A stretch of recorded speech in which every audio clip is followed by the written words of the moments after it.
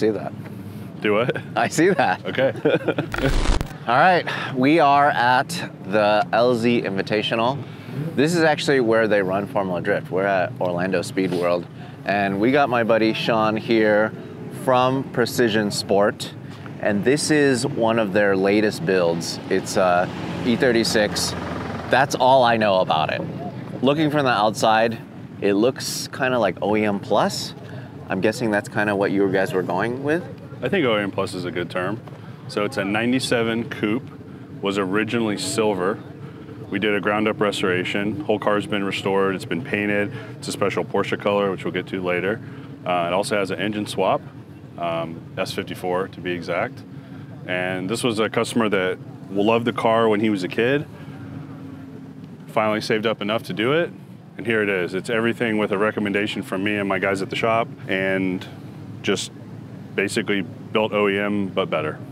Let's start from the outside. So essentially what you've done is made a brand new E36. What your vision of what it should have come from the factory? Yeah, I mean most of it is factory, but the color was originally going to be Dakar, which was a the factory color for E36. Customer ended up changing it to Gulf Blue, which is the Porsche Gulf color from the 70s, I believe is where it started. He also wanted to go with a stock look, so it has the double spoke twos, which are a stock E36 M3 wheel that we restored and powder coated. It also has all new trim on the outside, all new rubbers. The whole car was taken apart, engine was taken out, it was painted from the ground up by Samuels. And is it pretty hard for you guys to get E36 materials now? I think uh, yes and no. I mean, I think some of the stuff is readily available, but other other parts are not. Uh, some of the rubbers and stuff took pretty long time to get. I think the dash and the interior, right, the black interior parts were like. Yeah, a lot of the black interior pieces are pretty much NLA anymore. So Yeah, so we took some time finding those. eBay was our friend. I also had some of my stash and his stash that we we had to pilfer through to find it. Because this was originally a gray interior so it had gray carpet it had gray door cards it had gray half dash so he wanted to do the whole all black oe interior. Uh, we did a rear seat delete in it just to kind of clean it up and make it kind of a club sport look of the car. Because the customer it's a street car um, he might take it to the track like two or three times a year. Uh, so we wanted to make it be mostly a street car with the ability to take it to the track and be safe and have fun. Got it. Okay. Huh. All right. So then what else did you guys work on on the outside? So on the outside, it has the Active Autowerke exhaust, which you'll see. And that's kind of like a period correct piece because they don't really make that that exhaust anymore.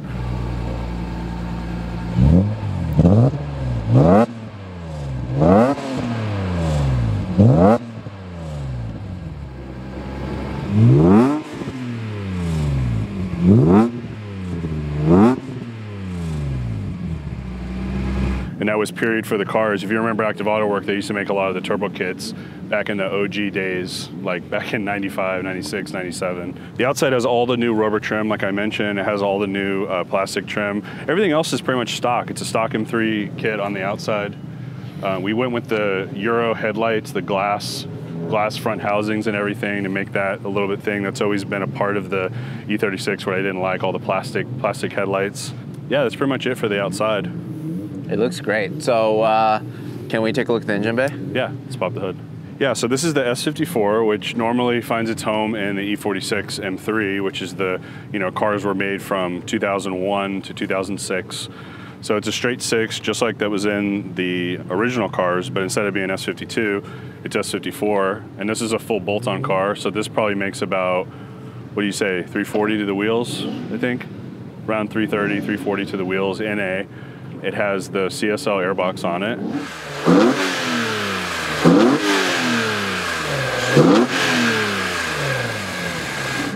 It also has some headers from Active Autowerke, um, and it has some custom tuning that we did on the dyno.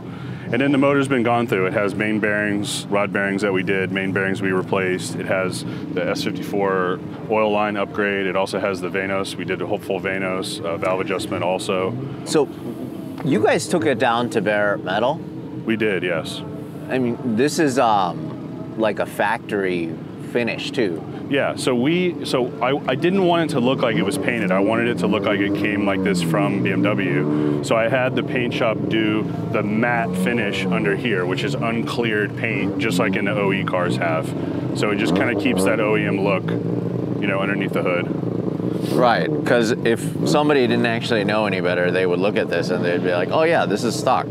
Exactly. Huh. Yeah, exactly. That was the point of this build. Yeah, exactly. Yeah, and and I mean it was a restoration project because the car was actually found on a farm and it was pushing tractors. I believe is what he told us. They literally were driving by, they saw the car sitting, they went and snatched snatched it up and then brought it in, and we basically took it from there. Was So, it originally a U.S. car? It was originally a U.S. car. It was originally had a has a lot of how many miles are on the car? I think like 130. About 130,000 miles are on the chassis. So we just took it from the ground up and went from there. On the inside, we went with the Recaro. The there yeah, used let's to be take the, a look at the inside. If you could just go on that side. Yeah, they used to be the, uh, they're called the Speeds now, but I think they're the SRD. I think they changed to it, which is just a, a super, you know, it's just a super nice Recaro that I think looks OEM and matches the finish. Like this is a vinyl with like a, a nice like cloth insert, which I think goes with the with the E36, you know, vinyl in the inside and kind of period correct for the 90s. So. How, how long did it take for you to do this? I mean, because I'm looking at this and it is. I mean, it's like a brand new E E36 M3. Yeah, it's been a it's been a two year project. We've been working on it off and on. Really, it hasn't been a um, it's been a priority for us, but it's just it just takes long to find the parts and get everything the right way, what we wanted it to be. And then the only thing we put in that you can really see aftermarket in the dash is the is the Pioneer head unit, and that was because the customer has to get on the on the phone with his Bluetooth and get on calls. So we went ahead and put the Bluetooth piece in to kind of update, you know, the usability of the car. Sparco steering wheel is super cool. Um, Yeah, I like the deep dish of it because it brings it to you. But you know, to me, like I, I mentioned before, like the tactile pieces in the car, the seats, the steering wheel, the shift knob. You know, this is a little bit later knob. This is like an F10 M5 weighted knob, but I feel like that's the best offering BMW has uh, for the you know for the shifting feel and everything, and just just kind of make it exactly the way I would want the car if it was mine. Yeah, the seats match really nice. Honestly, looking from the outside, you can't really tell it's too modified. Besides it being super lowered, right? Yeah. Really slammed. Yeah. What kind of suspension is it on? It's actually on BC. It's on BC Racing. Uh, that was something the customer wanted to go with, but um, I think what we're end up going to end up doing is switching out for either a set of ASTs when he gets more into doing the track. But for street, like that was something that he wanted to do. He had it on the car when he brought it to us. It also has um, powder coated subframes. We put some camber arms on the car. It has all new bushings underneath. It has the, the roll bar, which we put in. We also have some harnesses, which we're going to put in the car before we deliver it to them. So, yeah, it's pretty much almost done and ready to go to the customer. It's about 99% right now. This is really cool too. The rear seat delete. Tell me about this. Yeah, so this was a, a culmination of a couple seat deletes that are on the market, but we kind of made it our own. Would you say, Adam, with the modifications that we made? Yeah, it's um. It took some doing, um, but everything finally fit and finish the way that we wanted it to. Yeah, and another thing, Larry, if you'll notice, like another thing that I do in all my personal cars is I do the headliner and the A, B, and C pillar in Alcantara. So this is actual real Alcantara in anthracite that BMW puts in all their upscale models. We order the material from Italy, and then I have a guy that wraps all the panels. And to me, it just makes the car feel so much nicer and just and it's OE because it's that anthracite color that you find in all the newer BMWs. So it's just a small feature, a small touch that I think you know makes the car be a little bit nicer and just feel like a, a newer car. Huh. This is so cool. I love it. I love it. Yeah, thanks. Yeah, the color we weren't sure about. I didn't love it when it came back from paint and the car was apart. I kept telling him like I don't I don't know about this color, but once every week we started putting the panels on, we started getting the wheels on, we started getting everything on, it really came together and I actually really like the color now. And when people when I drive this car, people just say, "Hey, I really like the color." They don't know the color. Then I went to a Porsche. Uh, we were at a Porsche event one morning at Cars and Coffee. The guy's like, "Is that Gulf Blue or, or Mexico?" And it was like a bet. So when you know, you know. If you don't, it's just another stock color. So that's kind of the fun of doing these projects. Cool. Well, can't drive it today, but uh, Should we drive it today? I mean, we could. We might not be able to get back in. That's the Yeah. problem. We'll drive it Monday. Okay, all right. Yeah. We're gonna tr- we're gonna take this for a drive on Monday because today is the LZ Invitational, and And we're stuck. and we're stuck. We might not There's be a, able. there's a line of like 200 cars Yeah. out yonder. we we might not be able to get back in if we leave. But Yeah. Hey, bud. Hey, Larry. So we couldn't take the E36 out for a drive at the LZ Invitational because we would never be able to get back in. Yeah. It was- too much really bad traffic there. It was insane. Yeah. Uh, and I really want to do a proper drive with this because this is like your vision of what a perfect E36 should be. Yeah. It's a good way to put it. And the cool thing is, is you like, you as in Larry likes E36s. So I think this is a cool drive for you. I mean, to- so so very early on, um, a good family friend of mine, they were pretty well off, and they were able to get uh, a blue four door E36, like a '97, for um, for him as his first car, and like I, I always liked it because I and I was always kind of jealous that wow what a nice car, and I always liked the way it looked. yeah. So for whatever reason, it just kind of got ingrained in me. But also another thing is, it's just the, of that era, you know. Yeah. In the '90s, when I started getting interested in cars, that's just what was around. That was the top, you know. If you had the money, you would just get an M3. Yeah, for sure. I mean, that was the car I wanted. I mean, when I was 15, that's what I wanted. And my dad was able to get me, you know, that sedan I, I mentioned in another video, the white one, a white sedan M3. Um, but there was a, a Estoril blue, which is the probably the color Yes. that um, you're talking about. Car I used to see every single day when I was in middle school. I used to see the car, and I used to like stare at that car. Yeah, uh, my, our family friend, he, he actually um, put TEs on it, like gray TEs, so it looked really good. Yeah. So, all this said and done, last night I had a chance to drive our buddy Drew's Santorini Blue, Santorini blue. Santorini Blue G80 M3, and it's honestly one of the fastest cars I've ever driven on the street. Legitimately, Yeah, it is too much, dude. It It's a crazy car. I don't know why you would launch that thing all-wheel drive on the street, but man, does it move out! Like it legitimately is a four-door R35 GTR. It's so fast. This is not that. But that's the point. This is fun because you can actually floor it and not this get in trouble. Analog, analog capital A, and this is to me like one of the best BMW has to offer because this is the S54, full bolt-ons, CSL intake, headers, like proper tune, like in an E36 chassis, which is more analog than E46, and it also has the size of a small fun car like the 2002 that you saw, you know, over in my shop. It, this is also lighter weight too Yeah. than uh, 46, and I feel like for me this is the first like good modern BMW that you could drive every single day with all the luxuries that you would want. Um, the E30 is a, still a little more of an old school car. It is a classic car in my book. This, it's an era of more plastic, which means it's more of a modern car. This is the first modern classic for me. This is the line. E36 is the line. You're right. E30 still feels super old. This is starting to get into where I was driving, you were driving. Like that was the era. Yeah, and then like because E30 did didn't it start in '79? Yeah, Or- E30. Uh, E30 is actually, I think it's 81. Like- 81. Okay. 79 is a 320, which is the 3 series. Got it. E21 style. Got it. Yeah. Well, let's get in and drive. Okay. Enough enough chatting. Right. I wanna I wanna feel this thing out. It's fast. Is it? And it has no, there's no traction control. Is this faster than your E30? Yes. I'm curious now. My E30 is probably dead even with a stock E E46 M3. Mm-hmm. This is a this is a fully bolt-on, fully modded E46 M3 motor in a lighter weight car. Got it. So, So the it's- your E30 makes what 240 to the make- crank? Yeah, it makes like uh, to the wheels uh, on the dyno. It makes like 228, I think, is what Okay. it made. Um, this And then- makes like 340 wheel. This is like Whoa. more.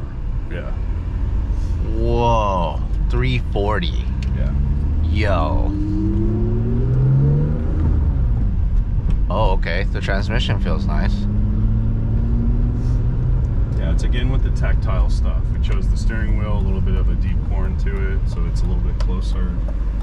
This has a short shifter, but it's only like 15, 16% shorter than stock.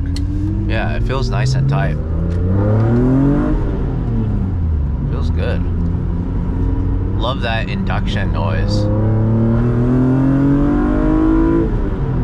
Yeah, Jeez. it's- The induction's probably louder than the exhaust. and that's the fun of the S54 six throttle bodies.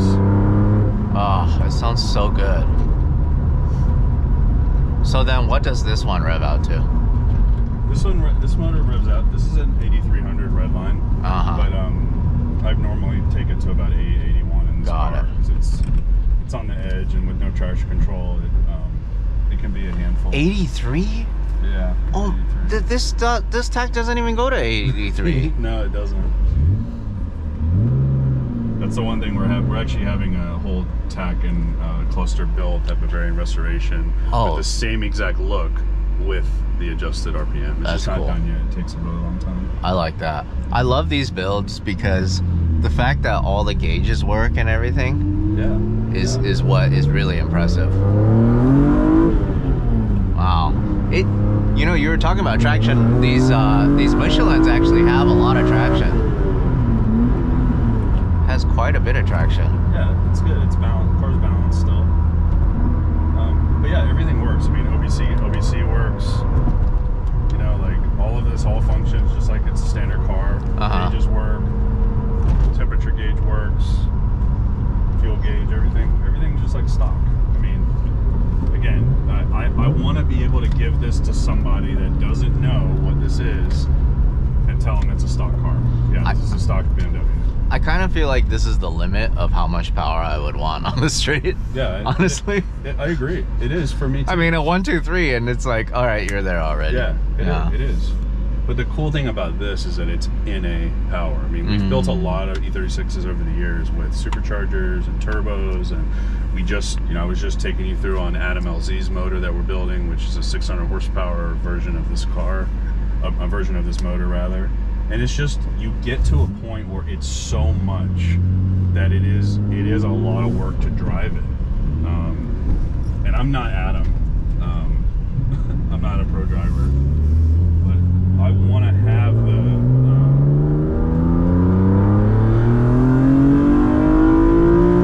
And it sings so good. yeah, it's it's super cool and it's so BMW that that sound and it's Yeah. so S54. So is it a six speed? It's a five speed. Oh, five speed. Got it. So this is the standard transmission that comes in the E36 M3s. Ah. The E46s have six speeds, uh, but the gear ratios and stuff in the five speed is really a better street, street type of setup.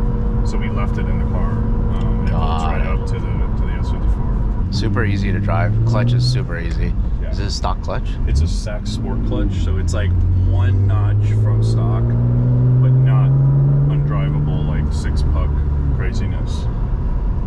Do these have like some kind of assist? No. No. They have a slave and a master, you know, but Yeah. there's nothing crazy. Like, Not like a Porsche. Huh. It's uh yeah, it's very easy to drive. Very. Love it. Oh, look at that beast.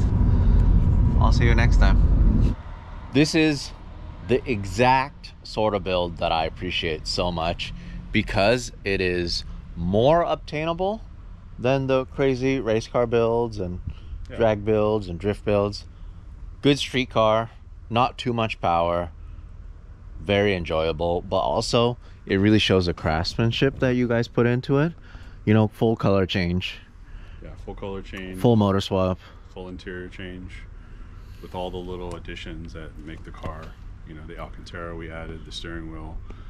It's just a total package of exa- it's exactly what I would want. And luckily, the customer Grav, we became good friends over the you know year and a half, two years we've been building the car, and he finally he, he saw so many cars that I had and was like, just do this the way you would do it, which is the coolest thing that I can you know hear And customer. just maybe five years ago, even, people probably would have thought that you were crazy for spending this kind of money on an E E36 M3. Uh, for sure. I mean, every day changes that though. I mean, the values of these going up, and then everyone wants one. I mean, every time someone comes in, they're like, "Hey, do you know of any really clean E36s?" I'm like, "Yeah, we can find one. Be like 50 grand." Yeah, because uh, at one point it was a five thousand dollar and under car.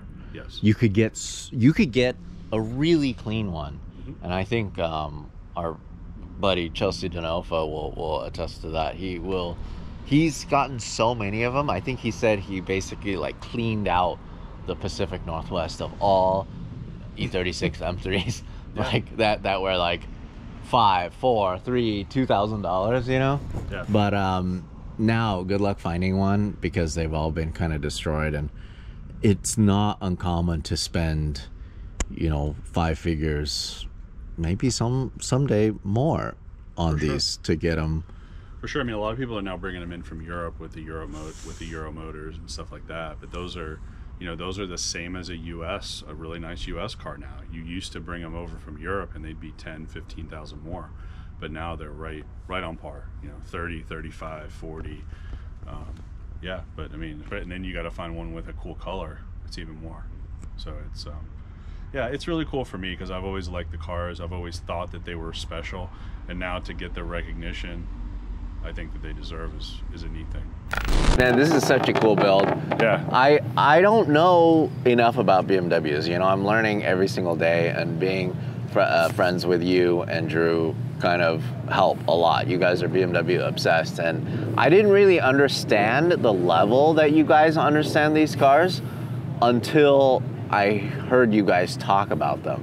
You know, when you when you're talking about them, it's the little nuances that kind of blow me away, and I think it's pretty Yeah. cool. The details matter, and BMW has so many details, and it's super important to take those into account when we when we do these builds.